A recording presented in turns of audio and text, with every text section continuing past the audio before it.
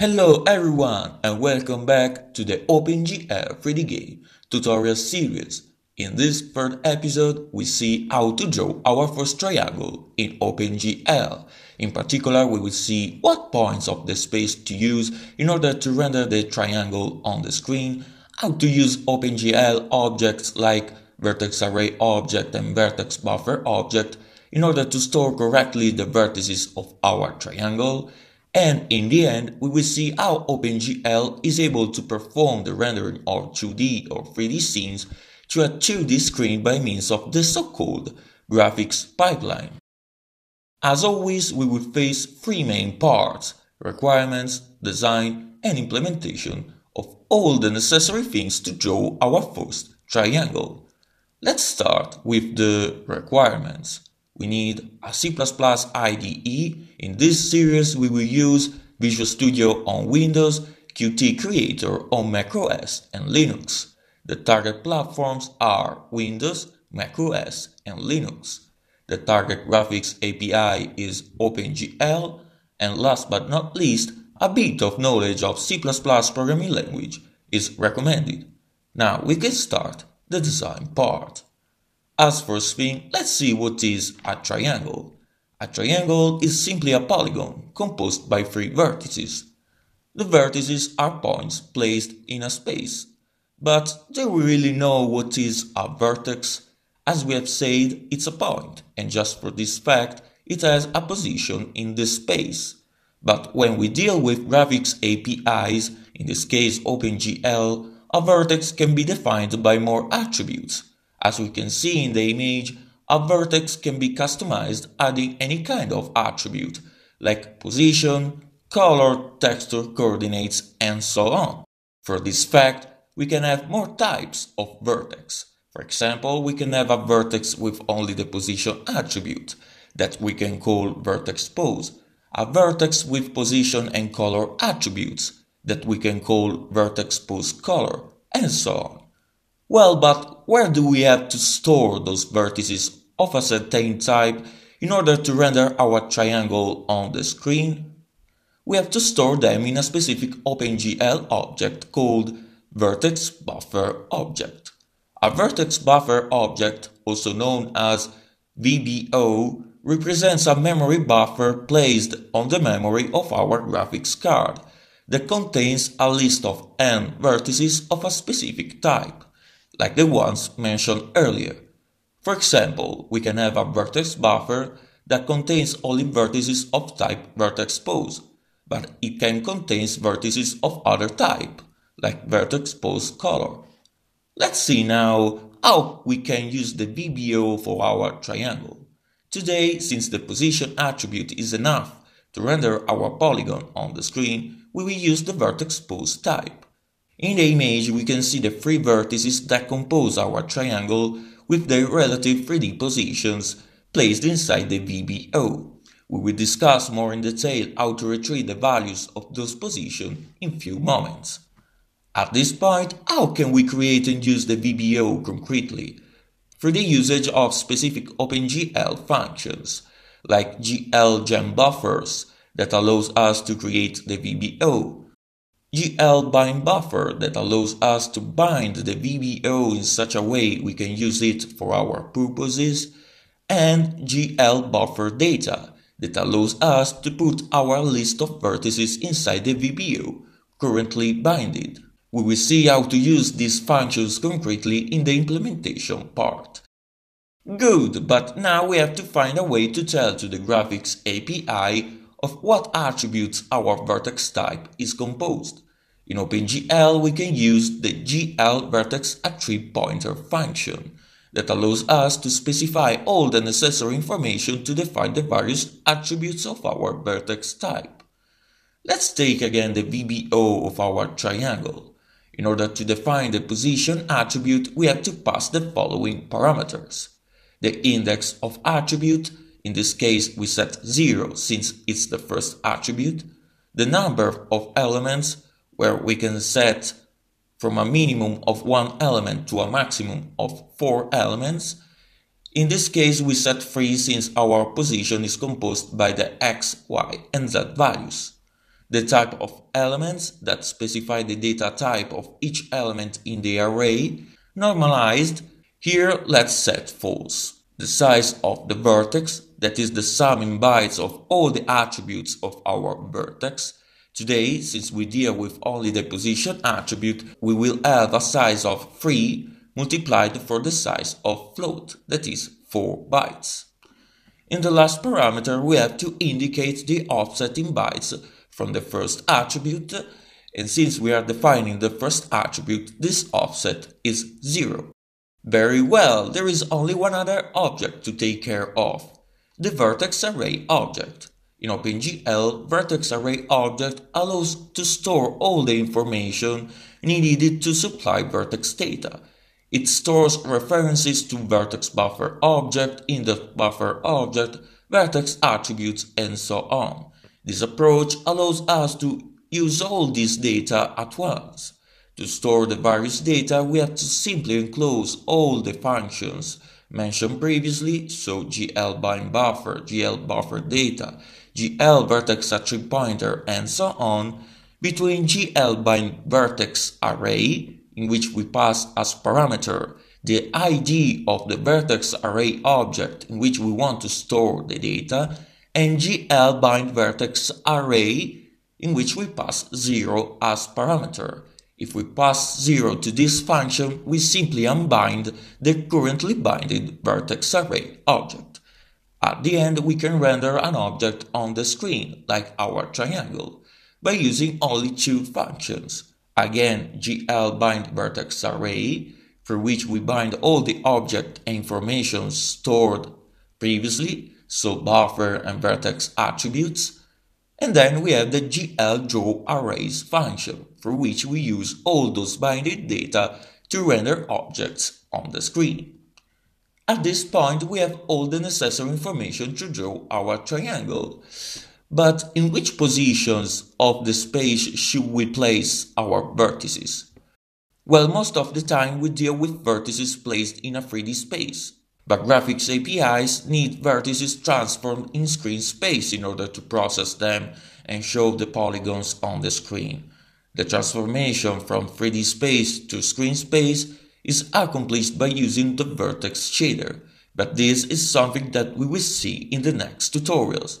For now, we will render our triangle by using vertices already transformed in screen space coordinates and we will place them inside our vertex buffer object. Good, but how to get such transformed vertices? As first thing, we have to understand what is the screen space. The screen space is a 2D space composed by two axes. The x-axis that represents the width of the screen and the y-axis that instead represents the height of the screen. For each axis, the range of values goes from minus 1 to plus 1. In the x-axis, minus 1 represents the left side of the screen, instead plus 1 the right side. In the y-axis, minus 1 represents the bottom side of the screen, instead plus 1 the top side. With all this information, we can easily find out the positions in which to place the vertices of our triangle.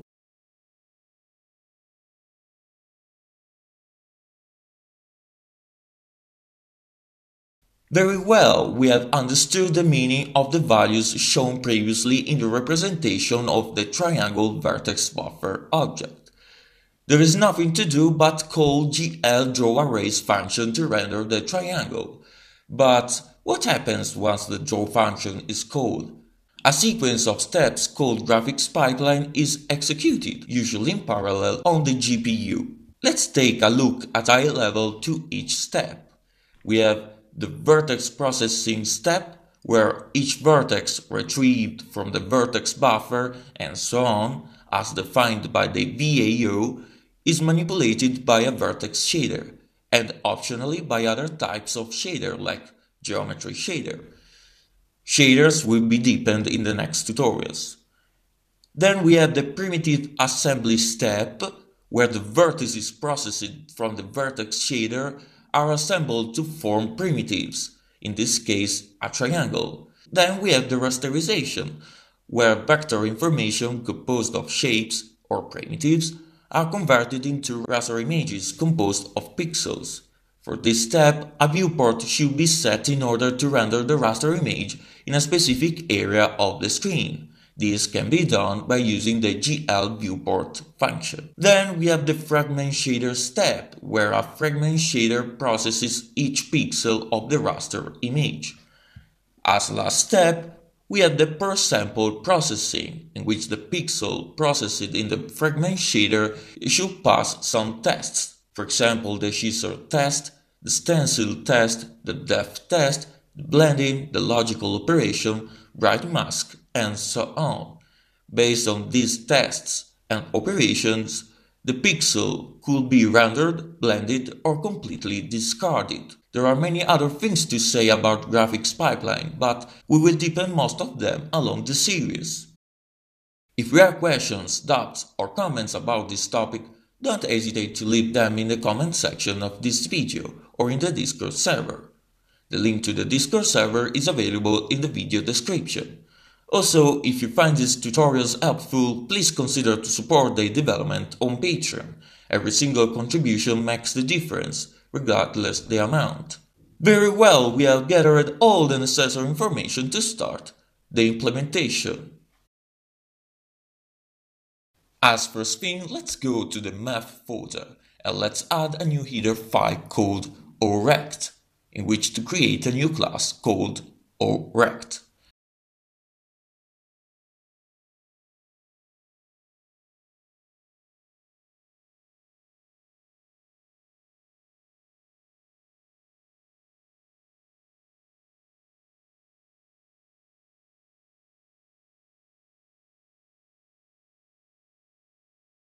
orect. orect would be used to handle the size of the viewport.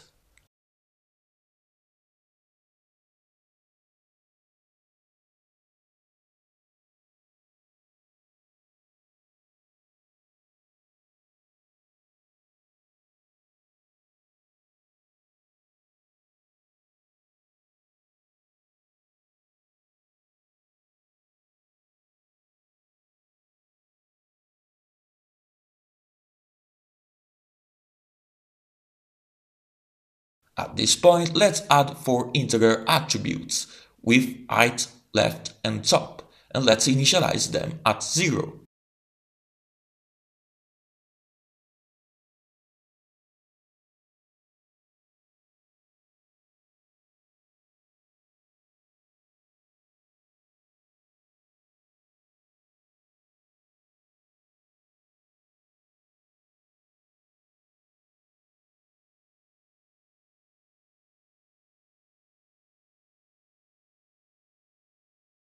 In order to handle easily the various primitive types, let's define a new integer type and let's call it i32. i stands for integer, 32 means 32 bits.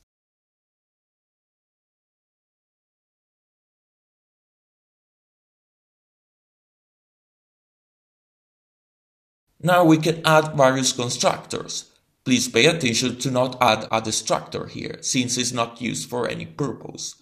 So let's add a default constructor, a constructor in which to pass width and height parameters.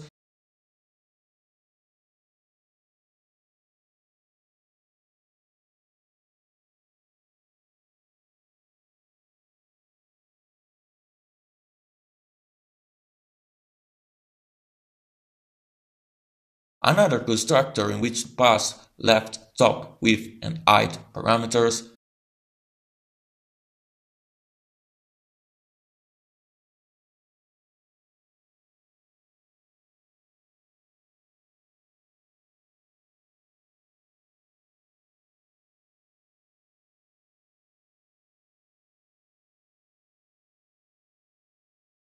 and last constructor in which to pass a reference to another orect object.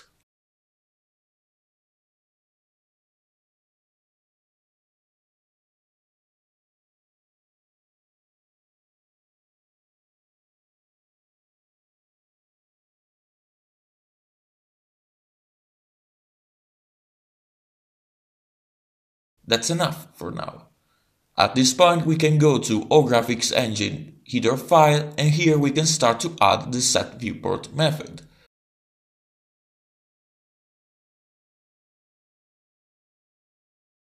Let's add as parameter the size of the viewport of type orect.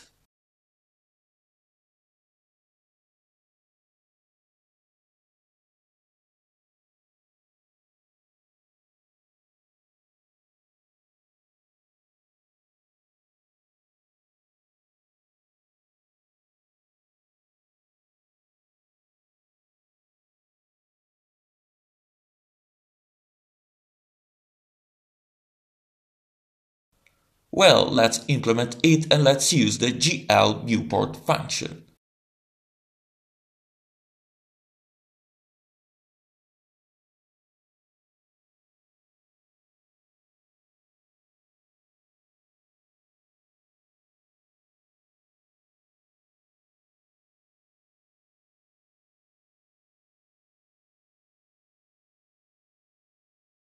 The next thing to do is to use setViewport in the OGame constructor.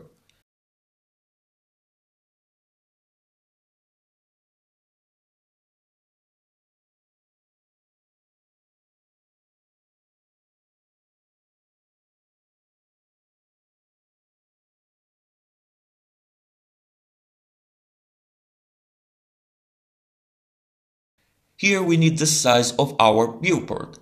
Since we want to render our objects inside our window, we should use the size of our window as viewport. So let's go to our window class and let's add a new method called getInnerSize that allows us to retrieve an object with the inner area of our window.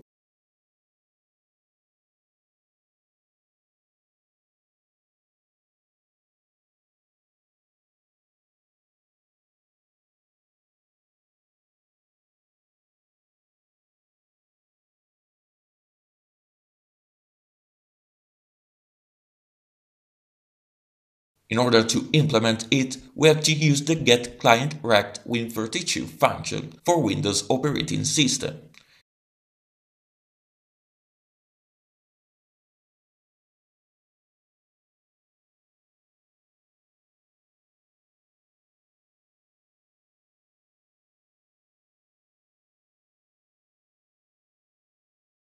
The implementations of getInnerWindow for X11 and Cocoa APIs are all available on GitHub.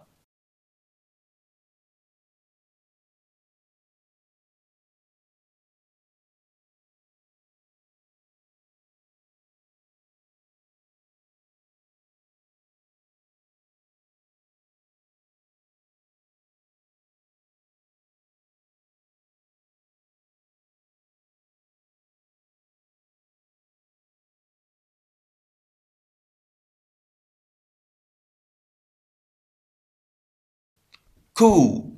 The next step to do is to pass the inner size to set viewport.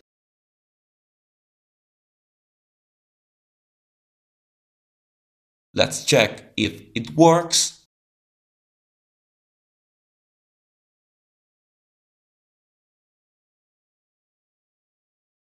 And it works, even if we don't see yet the results of set viewport function.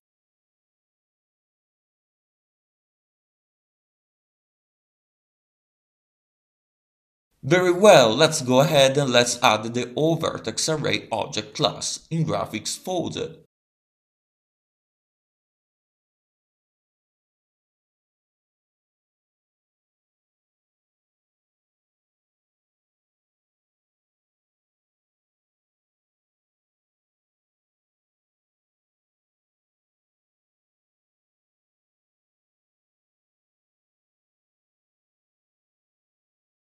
As we have already seen in the introduction, a vertex array object acts as a collector for all the data related to the vertices, so for vertex buffer, vertex attributes, and so on. We will create this class in order to handle all those types of data. As first thing, let's create the constructor and destructor.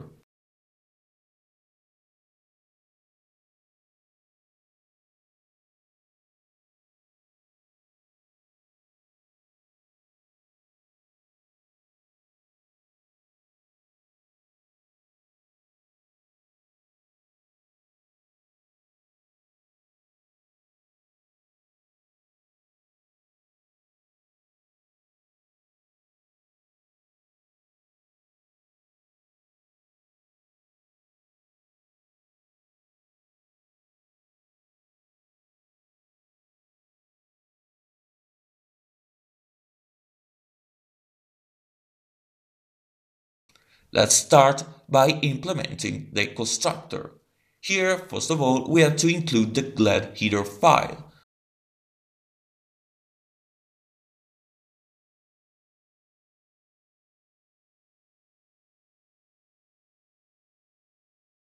Then we can create the vertex buffer by using the glgen buffers. glgen buffers, as the name suggests, allows to generate multiple buffers by passing as parameters the number of buffers, in this case 1, and the array in which to place the handles of all the generated buffers.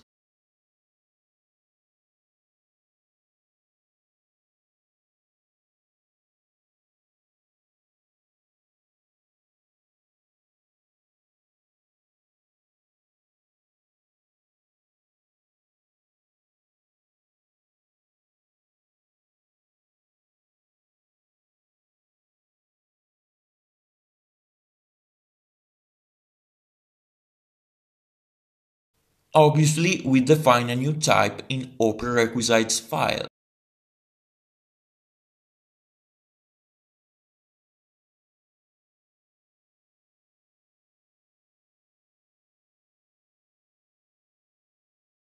In this case, we just add an attribute of type unsigned int, and let's call this attribute vertex buffer id.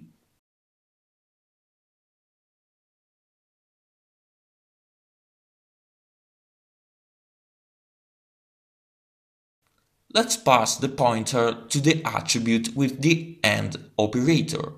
Now it's the turn of the vertex array object. We can create a vertex array object in the same way of the vertex buffer, with the difference that now we use the glgen vertex arrays function.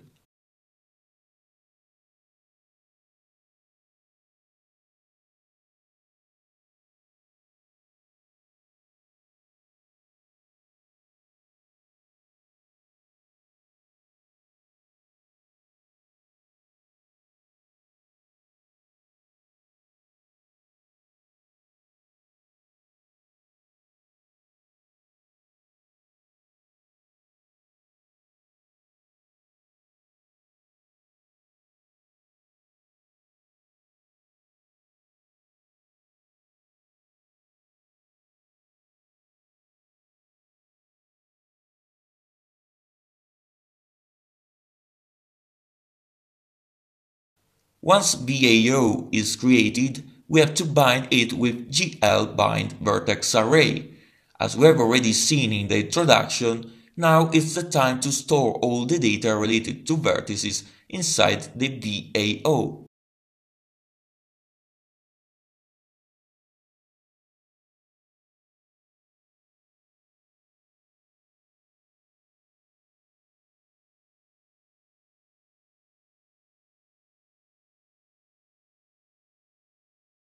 The first thing to do is to bind the buffer created previously as an array buffer with glbindBuffer.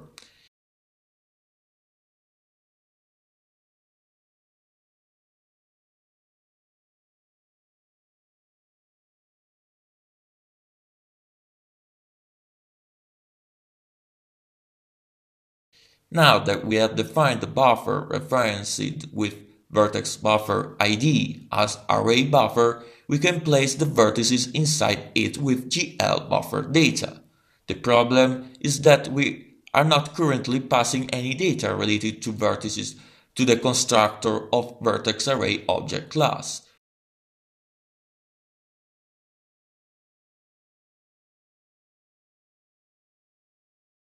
Let's solve this issue by going in OPrerequisites file and here let's add a structure called all vertex buffer data.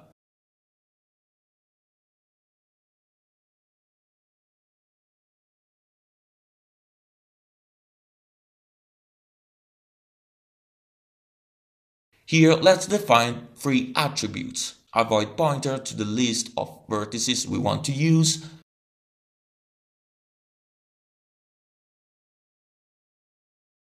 the size in bytes of the vertex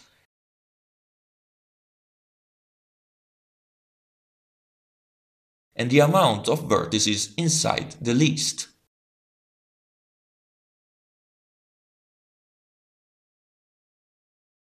That's all, let's add it as parameters of our vertex array object constructor.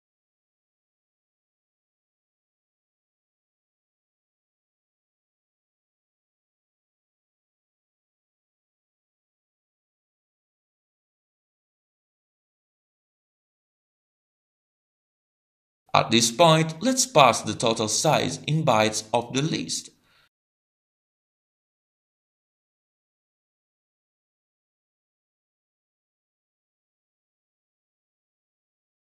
The pointer to the list and let's define this buffer data for static draw with the GL static flag.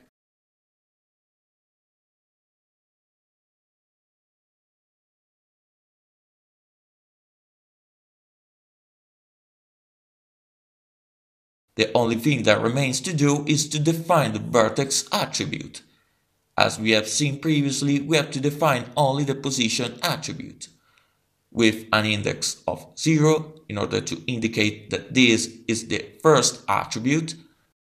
Let's set 3 as the amount of elements that compose this attribute, that are the x, y, and z values, And then let's define the type of these elements as float. Let's set to false the normalized parameter for now.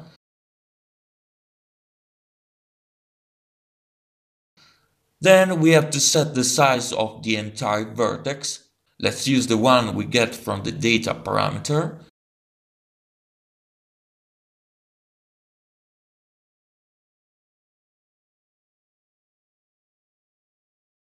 And as last thing, we should set the offset from the first attribute.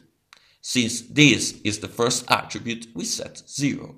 In order to enable this attribute, we have to use the GL enable vertex attrib array, and we have to pass the index used previously, and so 0.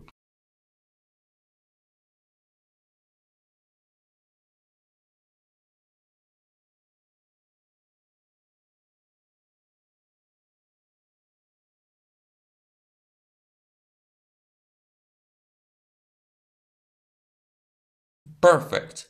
As last thing, we should delete all the VBO and VAO of the destructor of the vertex array object. Let's do this with GL delete buffers and GL delete vertex arrays functions.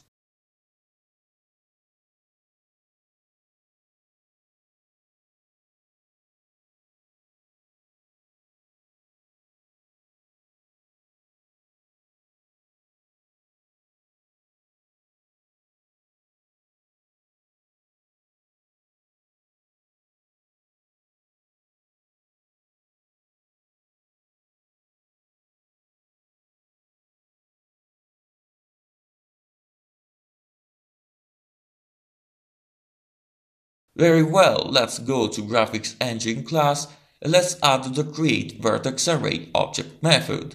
This method should return a shared pointer to our vertex array object instance.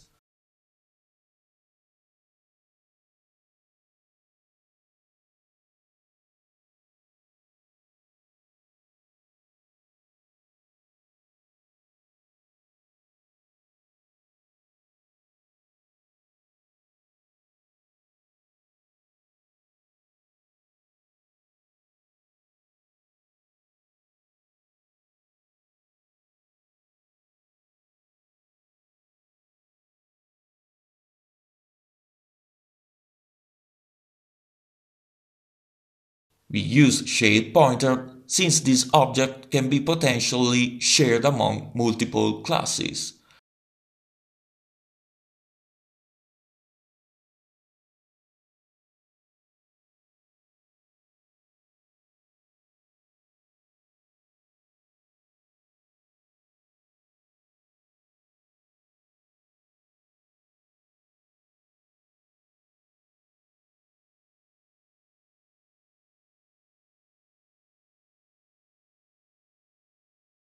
Then let's define the same parameters defined in the constructor of VAO class, and so the vertex buffer structure.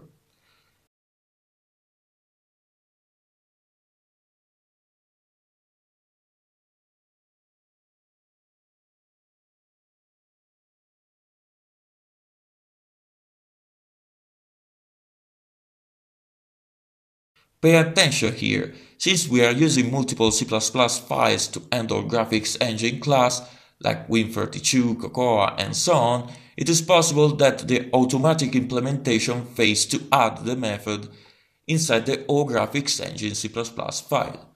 Check carefully.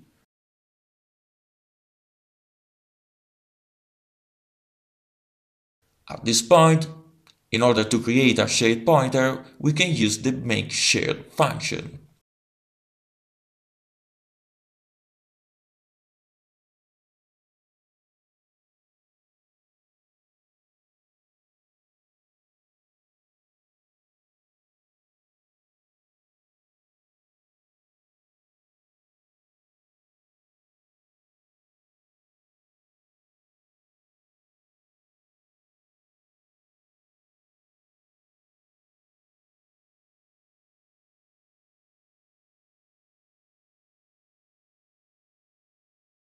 Cool, let's go ahead and let's add the set vertex array object method in Graphics Engine class.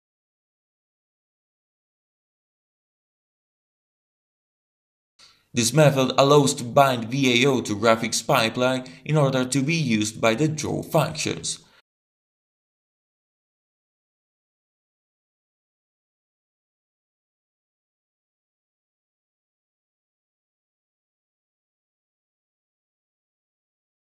The only thing we have to do is to call gl bind vertex array and pass the ID of our VAO.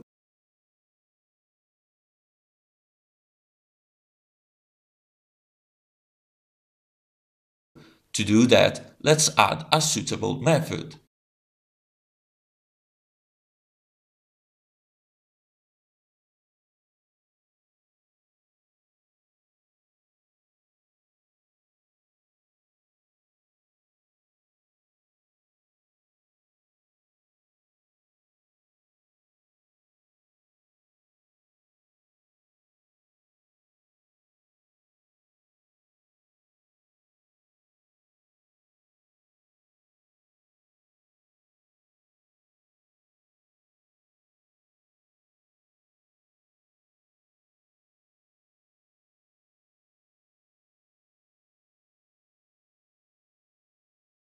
We have nearly reached the end. Let's go to OGame class and in onCreate method we can start to create the vertices list of our triangle.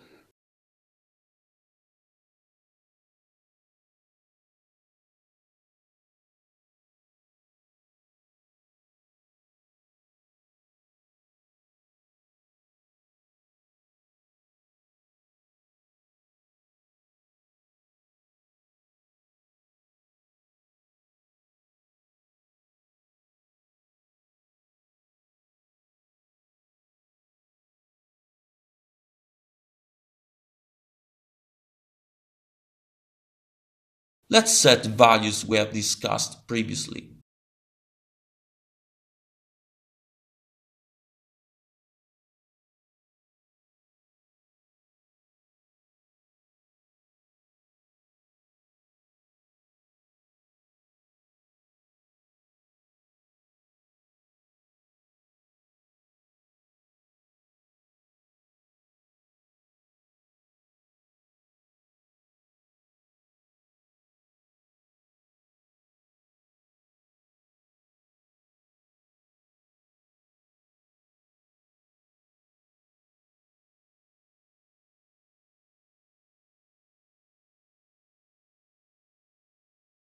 This point, let's call the createVertexArray object method of Graphics Engine.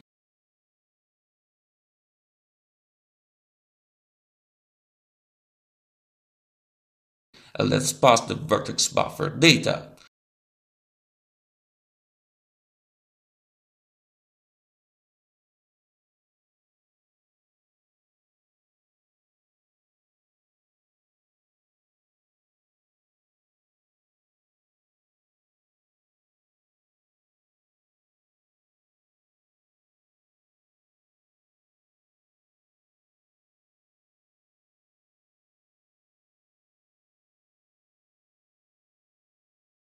So the vertices list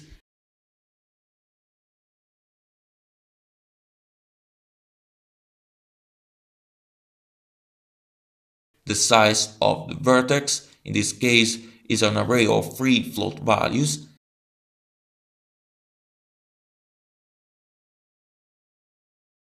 and the amount of vertices that is always free.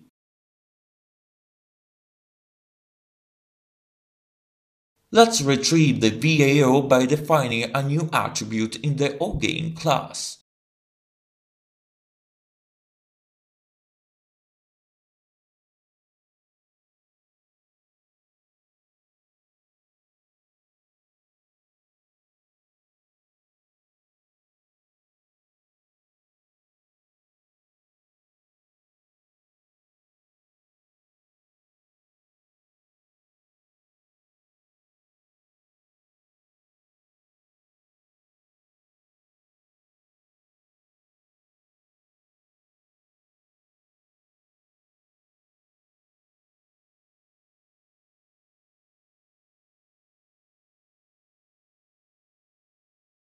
Then, in onUpdate method, we have only to bind the VAO of our triangle to the graphics pipeline.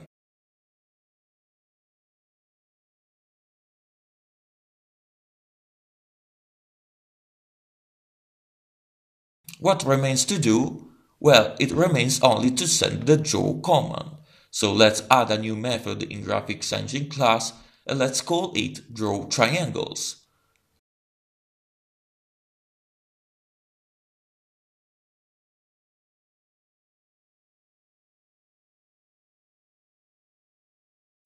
And we have to define as parameters the amount of vertices to render and an optional offset parameter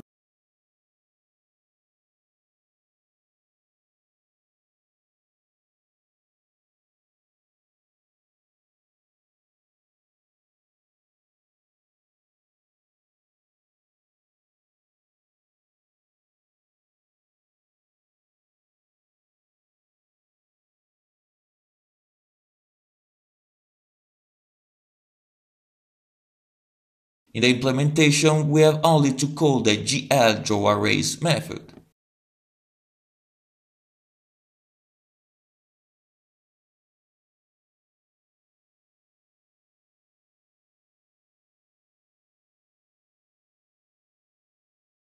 Let's pass the GL triangles flag. That means we want to render from a VAO that contains a list of triangles composed by three vertices.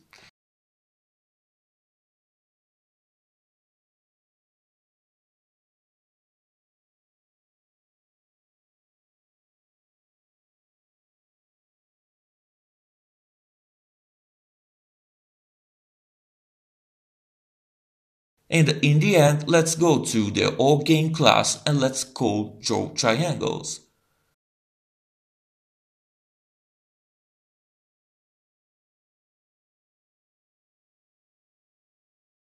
Let's simply pass 3 as amount of vertices and 0 as offset.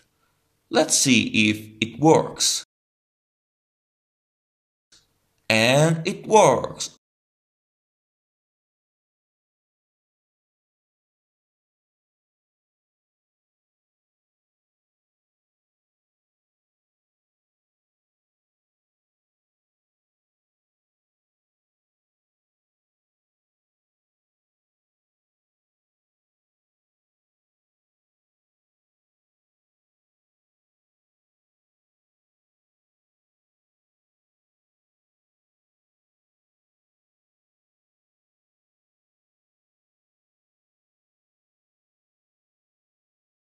Obviously, we don't want to pass the size of the vertex buffer of our triangle in this way. Let's improve this a little bit by storing the vertex buffer data inside an attribute in the VAO class.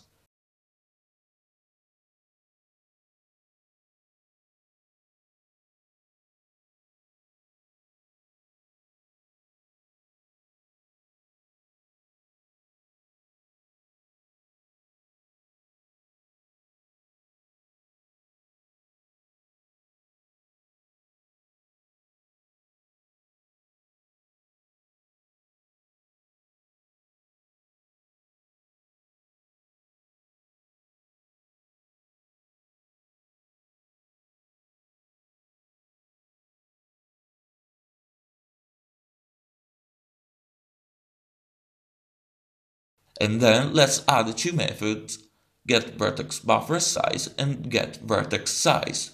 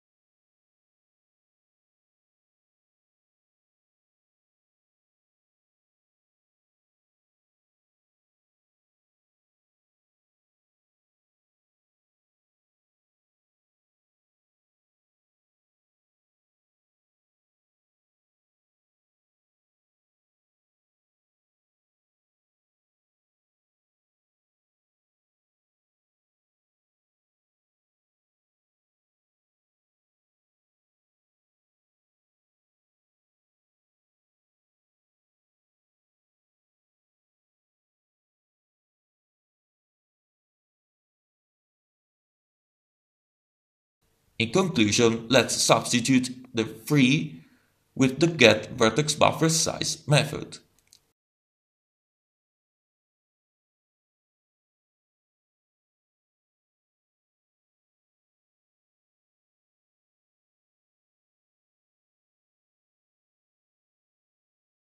That's all for now, folks. Today we have seen how to draw a triangle through the usage of vertex buffer, vertex attributes, and vertex array object. In the next episode, we will see how to create and use shaders in OpenGL. I hope you enjoyed this video. See you soon. Thanks for watching.